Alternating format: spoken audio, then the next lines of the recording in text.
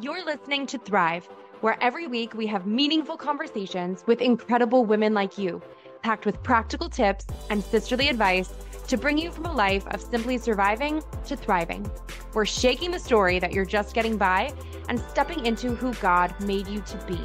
Because it's not enough to simply survive, you deserve to thrive. I'm your host, Erica Gwynn, and I'm ready to thrive together. Here's today's episode. Hey, friends, we are back on Thrive with best-selling author, speaker, Bible teacher, and my friend Laura Smith. And we're chatting all about her newest book, Holy Care for the Whole Self. It's full of truth and encouragement connecting our mental and spiritual health journeys, and it's going to leave you feeling refreshed and breathing easier in your own earthly walk. But if you have not yet grabbed a copy, no worries, we'll wait and give you some really solid advice and steadfast reminders in the meantime. Especially great if you have ever found yourself struggling mentally and maybe shaming yourself spiritually. You are not broken. There's nothing wrong with you. You don't have to pray away your pain. It is okay and right to seek earthly and heavenly help. Jesus cares about your mental health, and Laura is here to break down the both and of seeking healing. Stay tuned through this episode. Drop it five stars if you like what you're listening to. And now, welcome, Laura. Hey, thanks so much for having me back, Erica. Yay! I'm so happy to have you back on Thrive. To this day, you are truly one of my favorite episodes and just favorite people because you truly Aww. have such a heart of gold. So I'm very appreciative that you are taking the time to come back and hang out with us again. Thank you so much. That means so much to me. Yes, we've got an episode for anyone who may have missed it. It's an episode from last year called Hold Every Thought Captive and Then What? And it's one of my personal favorites because, man, oh man, surrendering all the things to God has always been a more difficult practice for me. But we, well, we, I say we, but really it's Laura, breaks down so beautifully. We. Um, yeah, we talk a lot about truly what it means to look at each thought you are having and analyze it and give it give it what it needs to either grow in a, a good direction or to go in a different direction and be blessed and changed and renewed and all of that good stuff. So we'll link that in the show notes in case you might have missed it. But today we are here to chat about your newest book, Holy Care for the Whole Self which is such a beautiful breakdown of our mental and spiritual health journeys and how they so beautifully can and do uh, go together. So, before we go any further, can you just tell everyone again who you are for anyone who might have missed the first episode or just needs a lovely refresher of the lovely Laura? Absolutely. Um, my name is Laura Smith. I live in Oxford, Ohio, a small college town, home of Miami University. Um, married to my awesome husband who's a professor here. We have four incredible kiddos who are not littles like yours, but big kids who are awesome and so fun. And I am an author and a speaker and a Bible teacher. This book is my 13th, which is just so crazy to me. And um, I'm just so grateful I get to do this thing I always wanted to do. Yay, lucky number 13, right? Exactly. so, holy care for the whole self it really feels like chatting with a dear friend over coffee. I feel like getting these glorious little stories that are kind of behind the scenes sneak peeks of your life, but then also getting really solid advice and reminders of truth. And I think the important thing here is the truth is that Jesus cares about our mental health and Jesus doesn't stigmatize anyone. So I think somewhere along the way, earthly people and broken humans uh, put this stigma on mental health, maybe mm-hmm. making us feel like there is something wrong with us. Mm-hmm. If we are suffering from something like anxiety or depression or just having a hard go of it. And that's just not true, right? Right. So the CDC says that over 50% of Americans will be diagnosed with a mental health disorder in their lifetime. And that's diagnosed. That doesn't even include all of the people who never like seek help to get diagnosed that means more than half of us, probably more like three fourths of us, or maybe all of us are actually will or at some point suffer from some mental health issue because we live in a broken world and bad stuff happens to all of us. And um, we have these beautiful, wonderful minds and bodies that um that don't like it when bad things happen to us. And so we're hurt and we're affected by that as we should be. How awful would it be if we weren't affected when bad things happen? Um so it's totally normal actually. Um it's more than average actually to have a mental health struggle. Yeah. Which is truly an incredible statistic if you sit back and really think about that. Yeah. And it's one of those things like we hear people say I think especially maybe in the Christian community where maybe some of this stigma came along is when people are told, "Oh, well, your faith must just not be strong enough." And that's that's why you're struggling. Like if you just ask Jesus to heal you, like it'll happen.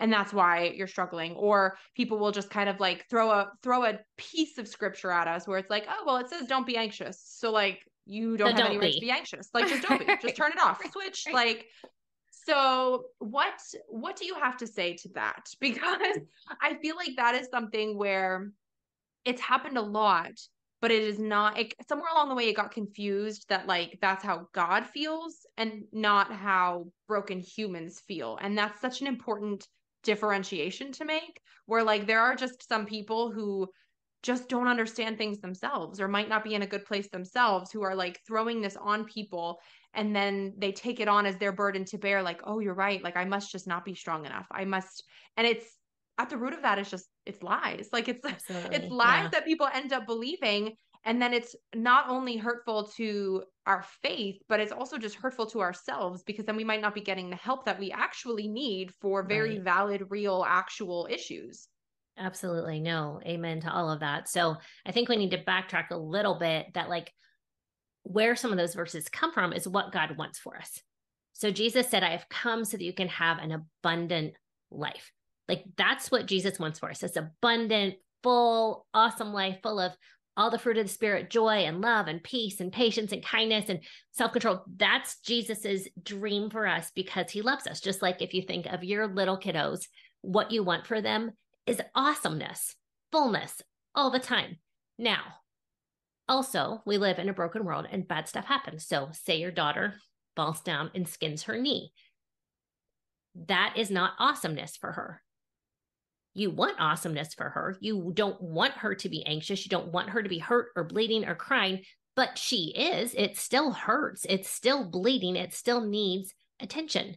Um, and it needs physical attention in our real world that we live in. Um, I, I like to think of it as an analogy with medical things because, for example, I break my arm. Will I pray for a good doctor to look at it? Yes. Will I pray for quick healing? Absolutely. Um, will I also go see a doctor to set it? Yes. Like I think I think it would be so foolish, and I think anybody listening uh, of any faith or not faith would be like, oh my gosh, you break your arm. Yes, you go see a doctor like that's that's what you do like you're not going to try to just like have that heal on itself no matter how strong your faith is and the same is true of a mental health issue again this is health and if something is broken or out of whack um, if there's a chemical imbalance or past trauma or some sort of disorder um, why not see someone who god has trained with special gifts and training and put them in a specific place where they can get an education to learn about these things and they have experience dealing with these things for them to be able to be like, oh, that's not just a normal break that's broken in three places and we need to put a pin in and we need you know um and the same with our souls and our minds. If something is out of whack there are trained professionals who know how to help us. So um not every mental health issue we can go through a period where we're just anxious about something or sad about something or we're grieving something briefly that you don't always need to see a mental health professional but i am a giant giant proponent that everyone should see a counselor. Um, god has created these people in his image and given them a passion to help others and why would we not take advantage of their knowledge and their desire to help heal us? Yeah. And i think you hit the nail on the head in that so much of this is a both and which is like part of the mystery of it all, but also part of the gift of it all. Like we can pr- both pray for physical healing and go to the doctor. We can pr- both pray for mental healing and see the counselor, see a therapist. And you're right. I mean, Jesus puts these people in our paths and puts tools in our toolbox to equip us along the way of this Absolutely. whole earthly walk. So it may not be like the face of God himself that we are seeing in our struggle, but I think someone he's gifted people along the way to be the hands of Jesus. Like that is Absolutely. kind of like our role to each of us in earth is like being put in people's paths to make their day better or make their day worse. And every yeah. it, with every choice that you have there, it's like that's kind of how we are being the hands and feet of of Jesus on earth, right? You know, like absolutely, absolutely. He's gifted us all to do different things for sure. And uh one of those things is mental health professionals. Thank you, Jesus. I mean, seriously, that there are people who can talk to you for a few minutes. Well, so we, we went just for our annual like doctor checkups for our insurance purposes. We have to go every year. We went this week. And um I said something about how my hands have been falling asleep at night. It's so weird. Like I've been falling asleep and my hands like, you know, get all that tingly and I wake up in the middle of the night. And I told my doctor that and she just started laughing. She's like, You have carpal tunnel. I was like, What? Like I, I don't have any pain. I don't she's like, that is the first sign of carpal tunnel. I'm like, it makes sense. I'm a writer. But she knew because she's trained that because my hands fell asleep at night that I have carpal tunnel. And in the same way, when you go see a counselor or mental health professional, they can say, like, oh, you're having nightmares. I bet you have past trauma. And you're like, what? I just thought everyone had nightmares. Um, they they they can see things in us that we can't see because they're trained um, and can give us tools on how to start healing which yeah. we want and jesus wants for us they also can look at things from more of that third party perspective, that kind of zoomed out lens and the yes. bird's eye view. Because yes. I think when we're in the middle of our own messes, it is so hard to do that. And we have that tunnel vision and we just see such a limited scope. And it's right. like God sees the full scope of our entire life and all of existence all at the same time. But then we've got like zoom in a little bit more. And then we have those people who are like our helpers on earth who can see, okay, put the pieces together that we're seeing on the on the table and kind of start to make sense of a picture that we were so zoomed in on that we just were not able to start piecing together without a little bit of a little bit of assistance. For sure. For sure. Yeah. Before we go any further too can you give everyone kind of the the big the higher level rundown of your book? Because obviously we're kind of diving into the nitty gritty of mental health within it but give us kind of like the heart behind it and what your hope is for it Sure. Um, I think the heart behind it is just to let everyone know that Jesus does care so much about our mental health. Um, Jesus created us in his very image. Um, he says that we are fearfully and wonderfully made in Psalm 139, 14, that we are his masterpieces in Ephesians 2.10. Um, God sent Jesus to the world because he loves us. That's why he came. There's so much love for us, and we are these precious masterpieces to Jesus that he cares so much about every detail of us. Even the hairs on our head are numbered. So, of course, if something is off with our mental health, he cares about that. He grieves with us. He loves us. He wants perfect healing for us. Um, I want everyone to know that if they don't hear anything else from this podcast, if they don't get anything else from the book, I want them to know that Jesus loves them and sees them where they are and cares about them and is with them in their struggle. And his dream for them is perfect healing. Um, I think that's just so important that we hold on to and that these things aren't separate. We don't have to hide our mental health issues from Jesus. He knows and he cares. Um, so that is that is the main overall crux. I wrote it because I went on my own mental health journey and I just learned so much about about Jesus's love for us and literally how the Bible has all these beautiful instructions in it that are actually what mental health professionals are saying now are like the best tips and tricks to care for your mental health. I'm like, wait, that's in the Bible. And oh, that's in the Bible. And that's in the Bible too. And um, that makes so much sense because God loves us so much. Of course, He would put these instructions in the Bible that would care for us because he wants perfect healing for us. It just it just made so much sense, and it was something I learned on my journey.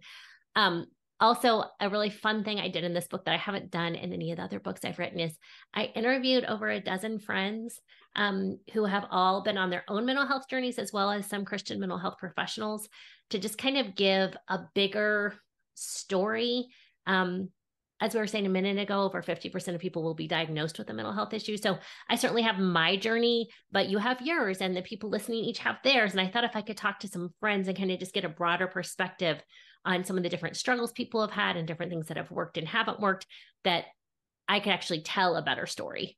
Um, so that was a really fun thing I did in this book that I really think um, gave it more fullness.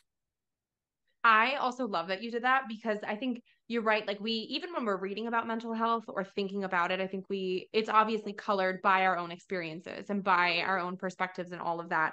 So even just to be able to have somebody else's life perspective kind of in next two hours or adjacent to it where you can kind of connect start to connect the dots i think sometimes it goes back to like the third party perspective when you're seeing it almost like as the outsider and you're seeing what someone else went through then you can it's easier to connect the dots and be like okay i could see how that would have led to that would have led to that would have led to that.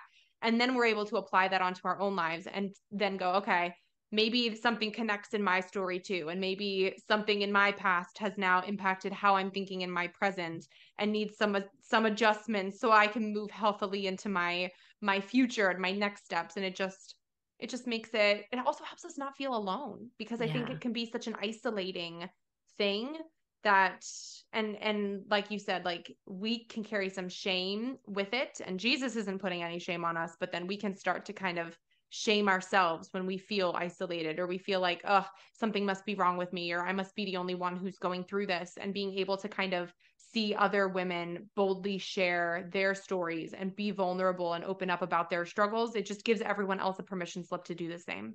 Yeah. Yeah. I certainly hope so. Yeah. Um, yeah. Actually, one of the chapters in there is about my, both my grandmothers and the time when they were struggling with their mental health, how literally no one talked about it. And I didn't know them at that time. And I never knew one of my grandmothers. And I just can't imagine how lonely and hard that was. Um, we live in a day and age where mental health is being talked about a lot more. Um, not as much in the Christian realm, which we totally should be, um, but just more in society. And so, yes, we need to share our stories. Um, one, to shine some light on what's going on in our lives um, and help us heal, but also so we can help the people around us heal too, because we'll start to find out that none of us are alone. Yeah.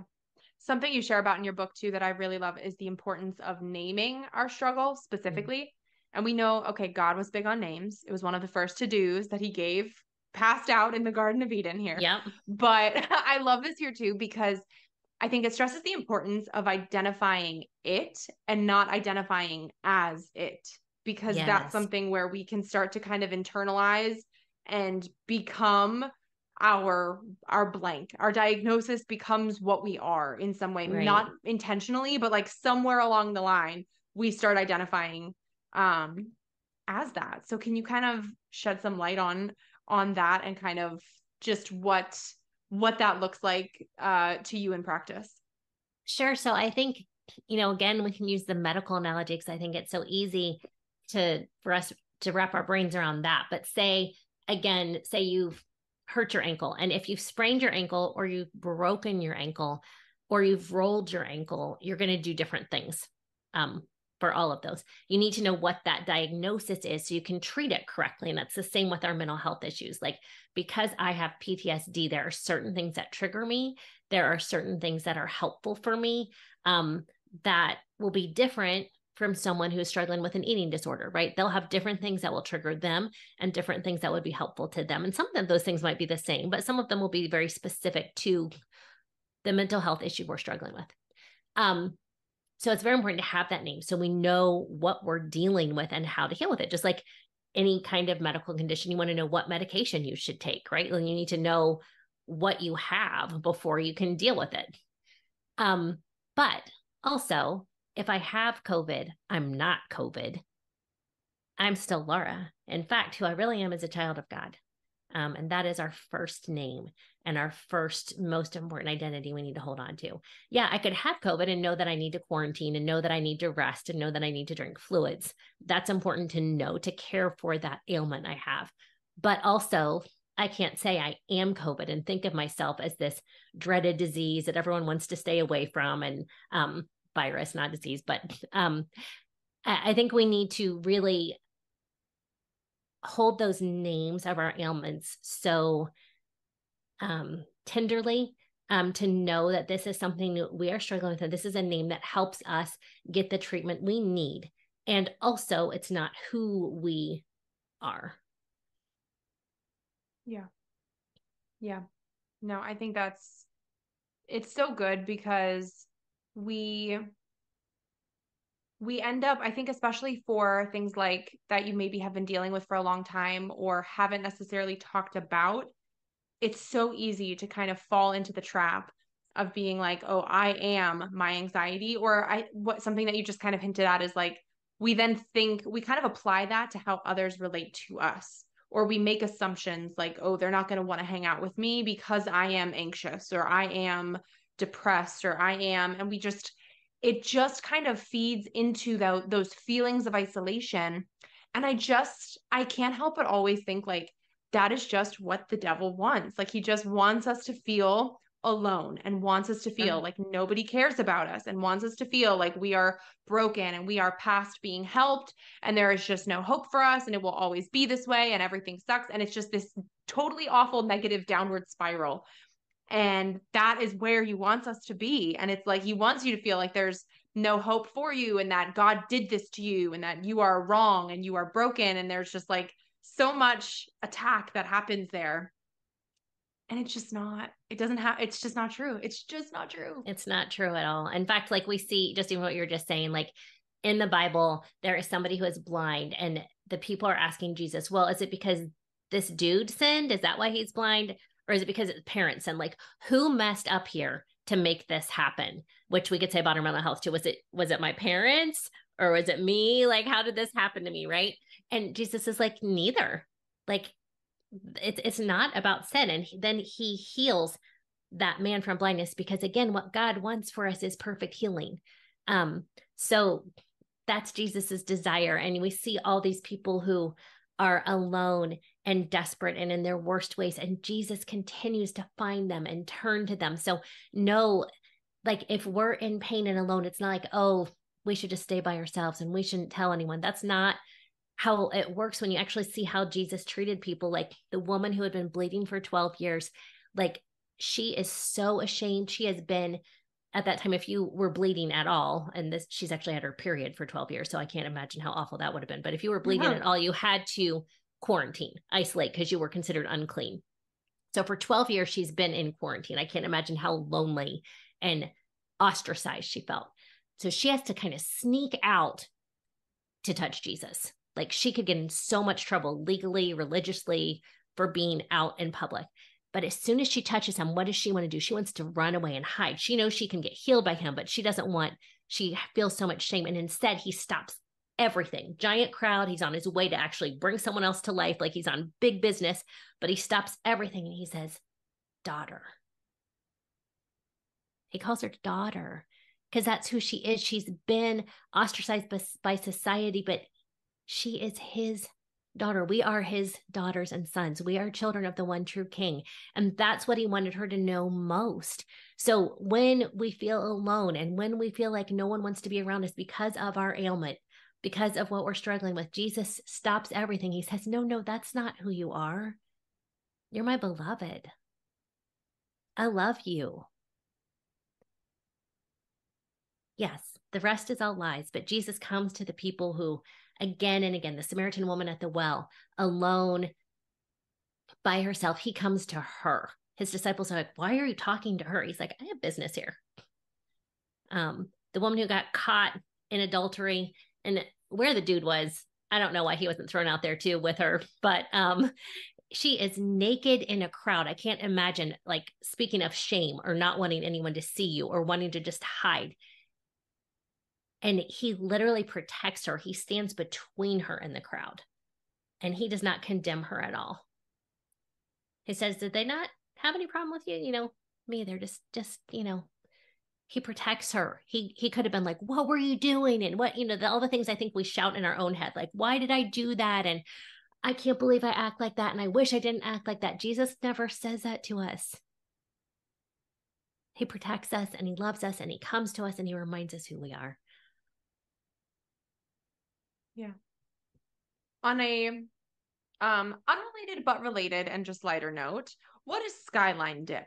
Because you talk about this in your book, and I promise there's like a legitimate transition coming here. But first, the people need to know, I need to know what is skyline dip because it sounds delicious from the book. I'm sure everyone who picks up a copy and reads it, you'll probably have the same thought where you're like, whoa, hook a sister up because this sounds legit.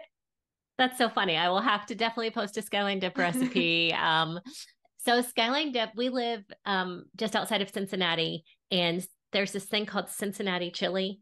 Um, and skyline is the biggest, like the the kind of icon of Cincinnati chili. And it's not chili like you know it. It's um it's put on coneys, it's put on french fries, it's put on spaghetti. Um it's a whole thing. You'll have to look up Skyline Chili. Um, it's a whole like brand and a whole thing. And people who move away from Cincinnati like order cases of the cans of Skyline Chili like to where they live. It's like this whole thing. Um, Skyline Dip is a layer of cream cheese, a can okay, so of Skyline start. chili. Yeah, cream cheese, a can of Skyline chili, and then as much cheddar cheese as you want to put on the top, and you heat it up and you dip Fritos in it.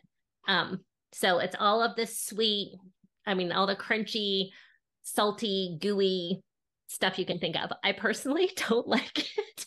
and I think I even say that in the book, but my family does. And I've never taken it somewhere where it had like the platter hasn't been licked clean. So it is definitely a fan favorite in Southwest Ohio. Yeah. And okay. takes about That's... one second to make also, yeah. which makes it a fan favorite for me. I would definitely be a fan favorite of that. Now I ask about that because in your book, obviously you talk about having one or two kind of go to recipes that are memorized for those spur of the moment situations where you have to take a plate. So if it's like a kiddo's last minute request for school, or you have like a spontaneous girls' night or a community potluck, what have you, and you need something to bring really quick, no fail, you could just whip this out, whip out the ingredients, make it happen, and go.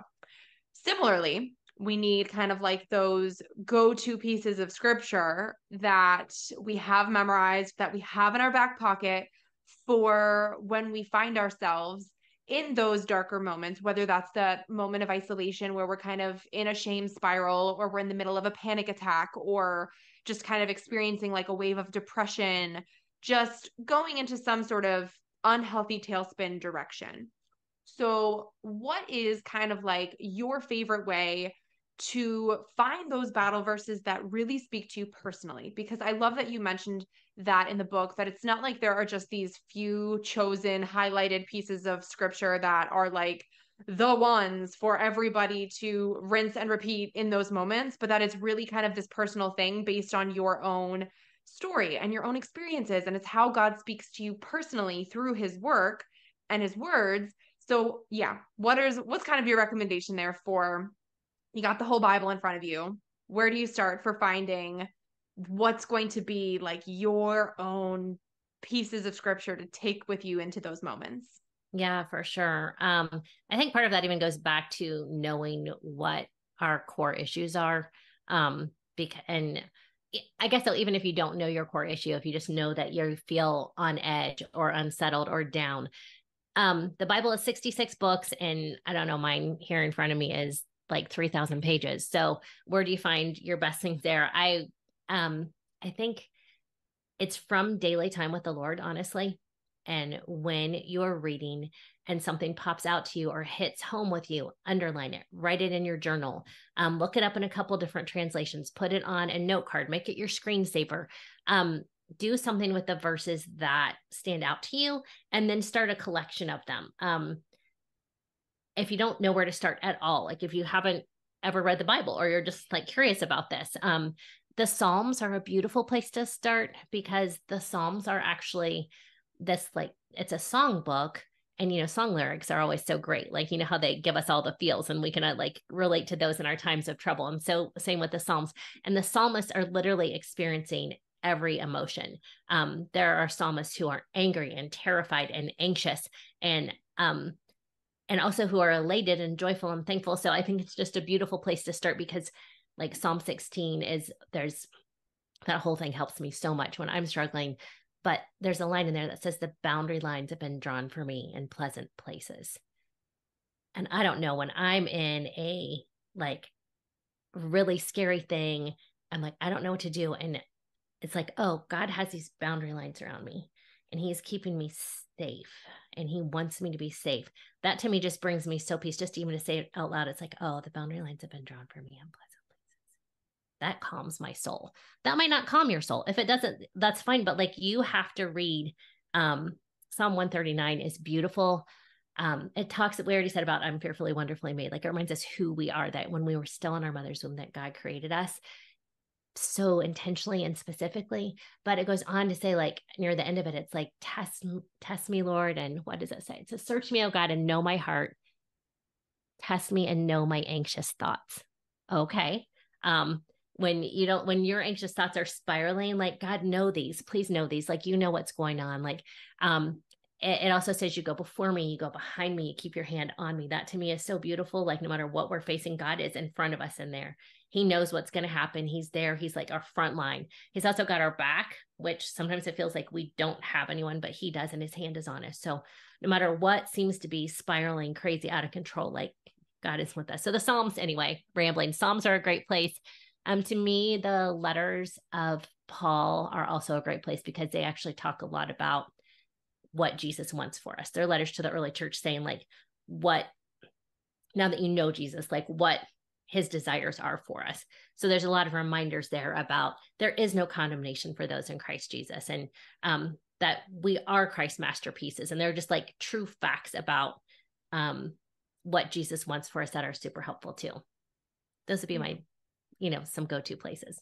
But it's going to take your own that. personal journey. You're going to have to read it, you're going to have to do the work. Yeah.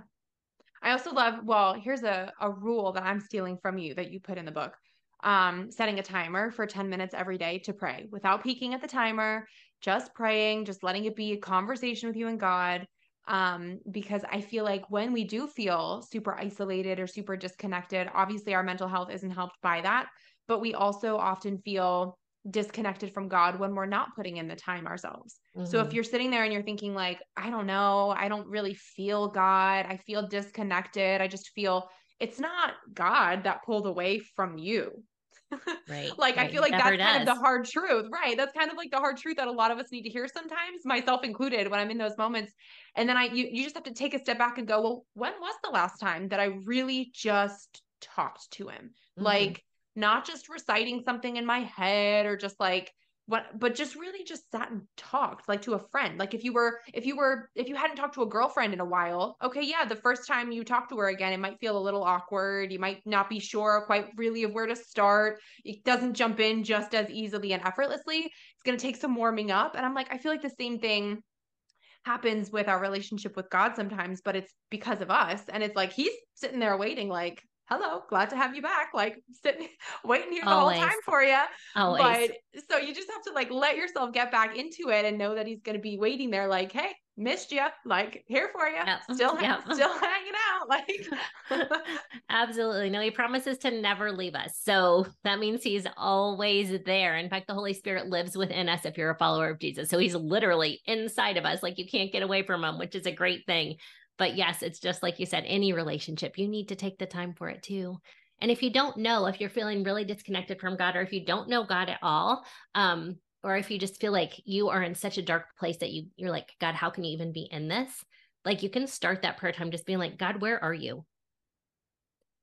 What do you think of me? Um, and it's wild. Like, gosh, I'm tearing up. You say, God, where are you? He's like, I'm right here you say, What do you think of me? Like when he'll say, I love you. Um, you just ask him some quick, direct questions. The psalmists aren't afraid to say, like, what's going on? Where are you? Why is it taking so long? What is, you know, ask him really what's on your mind. He wants to hear all that. You don't have to have these like fancy words or you don't have to be like, oh God, you're so great, even though I'm, you know, in a very terrible bout of depression, depression. Like you can say, this stinks. Where are you? I need you. And if you pause to let him answer you, you will be filled with love. Yeah. I think that's usually really overwhelming. Like those moments where I've experienced that personally, it's it's like you're not really expecting to have the response back that you do get because chances are I think if you've been in kind of a more negative place, maybe you have felt more disconnected and whatever. And if you let yourself have kind of that vulnerable moment, and he shows up and you really feel it, you're like, holy crap. God Dang. just answered me. Like, like it's a, it could be and it's not like you necessarily maybe you'll hear like a word may you know that's cool when that happens or you'll see a god will speak to you in a way where like you just know like you know in your heart that that was not your own brain putting that thought there which is Mhm. what's so cool when you're like Mhm. wow i just had like the god of the whole universe just like came down to say something to me specifically like me little old me in my in my crying on the bathroom floor. He just came down and met me here. Like wow that's really cool. And those i think those moments also help really make you feel more connected and deepen your faith because it just makes you feel so seen in Mhm. moments where even the people on earth who know you and love you the most may still be missing it and they might not still see it. And like god will come and be like you know what? I don't even care that you haven't that i haven't heard from you in a hot second. I still know you and love you more than anybody else here. And that is something. It sure is. It sure is. It's so beautiful. Yeah. How do you kind of, besides, well, how do you in general invite the Lord into your messiest moments? What are some of like, I know you just kind of mentioned some of the quick, short, easy prayers, but do you have any other kind of easy, I don't want to say prompts because that feels a little more formal, but I feel I'm someone who like is a very visual learner and likes having examples of things. And I'm sure some folks listening might feel the same, where like, if you got to give people, okay, here's a couple of quick, easy ways to just invite the Lord into wherever you are on your mental health journey, in your messy moments, in whatever moment you need. Do you have any sort of like favorites or go to go to starters? Yeah, starting no, prompts. Well, I think, you know, like we just talked about, he is always there. So, do we actually want to invite him into our mess or not is our decision because he loves us so much, he gives us free will. So, I can Mm. know that I am struggling with something and I can hold on tight to it because I want to control it and I want to go this way and I don't take time to talk to God because I have this I want to do and I want to tell that person off and I want to, like, you know, or I can say, okay, God, I am so tied up in knots. I need you. So I think it's a very conscious decision that who do we want to actually handle our problems? Do we want God to step Ooh. in and help us, or do we want to be in control? Um, because the truth is he's way more equipped to handle everything and anything since he can like actually like create the world. Um that No um, for example, um that um it's that release to him. So some of those things that kind of show that release is starting my day with God, like starting my day in scripture. There's a million things I could do any morning to start my day, but to start my day in scripture. And you guys, just for the record, that doesn't mean like before I get out of bed. For me, that means getting my high school son out the door, fed, vitamins for our family, breakfast in front of me because I wake up starving every day. Um, you know, sometimes I even have to send an email first or a text to my daughter who's in college first. But before I start working for the day, before I open my laptop, I'm going to spend time in the Bible. And that to me is it is an act of surrender that God, you are more important than my agenda today.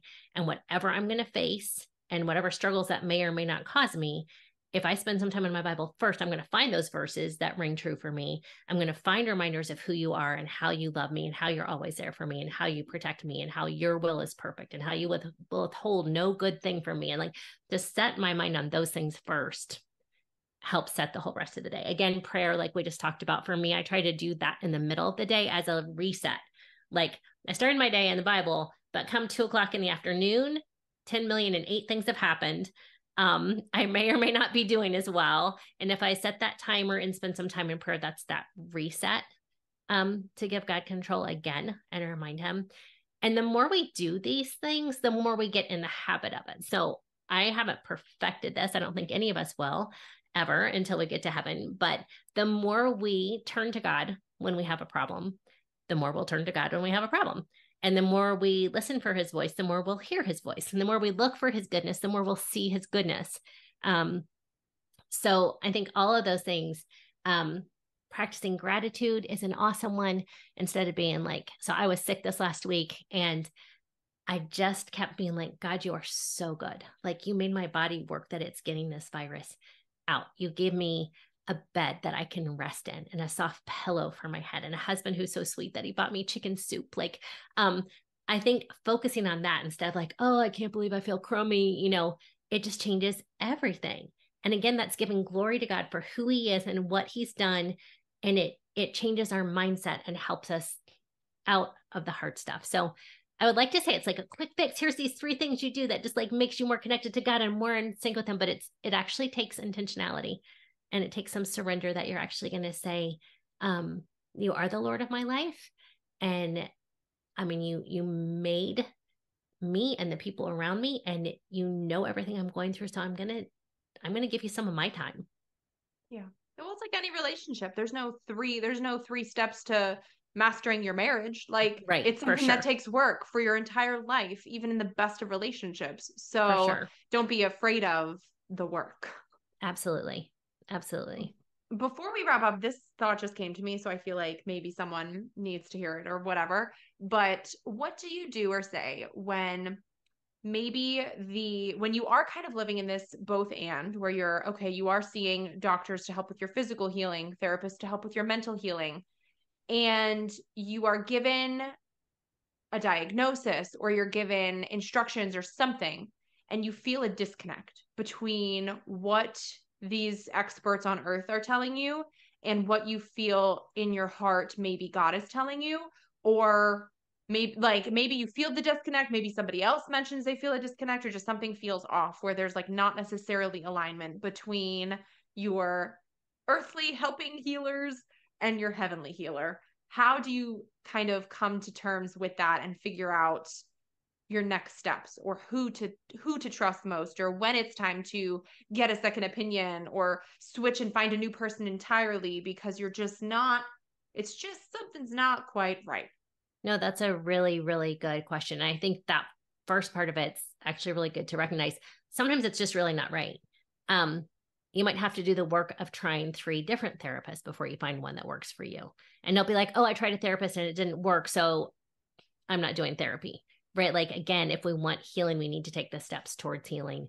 And um, I think prayer again and reading the Bible are the best things to hear God's voice. So the more we talk to Him and the more we read His words, the more we'll hear His voice and the more we'll know if something is off. And I think you do kind of get that gut feeling like this doesn't feel like something Jesus says or something that aligns with the truths that I'm reading in my Bible. Or so if you start to feel that way, I would one, pray about it. Um, and two, talk to a couple really trusted Christian friends. Um, whether that's a spouse or your best girlfriend or a woman from Bible study or um, you know, it could be your mom. I don't know like who in your life you really trust. Um, because you have to trust them enough to share your mental health situation with them and um, you want them to be shared in the faith so that they understand that. And god literally gives us community to give us wisdom and he puts people around us to help us. We're not supposed to do it on our own. In fact you know god says from the get-go it is not good for man to be alone. He says that because it's not good for us to be alone. Um, so i would ask a couple of really close people you care about and ask them to be praying for you in the decision as well. Um, and give yourself a little bit of time before you act like if a doctor tells you to go on a medication that's not working for you or to do some practices that you feel like are counteractive to your faith like maybe being unkind to someone as who's being unkind to you. Like you know jesus doesn't ask us to be unkind. Um we are supposed to set boundaries to keep ourselves safe because jesus wants to keep us safe. But if if an action just feels out of line with who you think god has created you to be or who how he wants us to act then step back pray about it talk to a couple people you trust, ask them to pray about it.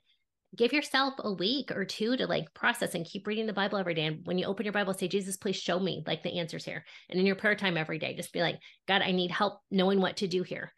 And He loves you so much, He's going to show you. And it'll be wild. It'll be like through a worship song you hear. You'll be like, oh, that just totally makes sense. Or it'll be like, you know, maybe a book that you're reading or a podcast you listen to, like maybe this one. Um, and you'll be wondering, and all of a sudden you'll be like, oh, and that is God's answer to prayer. Don't think it has to be in your prayer time or in the Bible, although those are great ways that He answers prayers. It could be through the friend you asked. Um, it could be through a Disney movie you watch. You'll be like, oh my gosh. Like watch Tangled for a second. You'll see gaslighting full on and um you'll be like oh my gosh that's how that person treats me. I shouldn't be with them right? Like um you never know what god is going to use to speak to you but if you're talking to him he will help direct your steps. He promises to direct our steps. Yeah. So good. So true.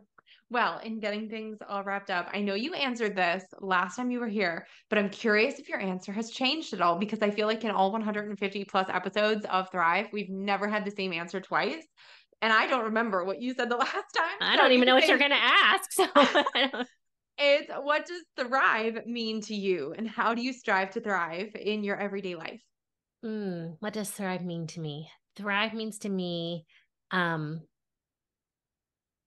it means living the life that Jesus has called me to.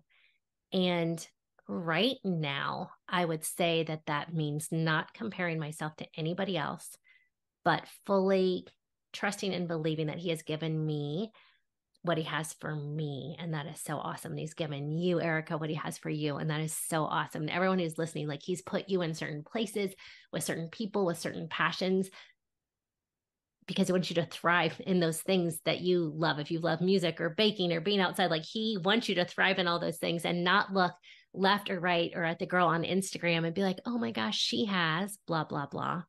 Um, because the Bible does tell us that God will withhold no good thing from us.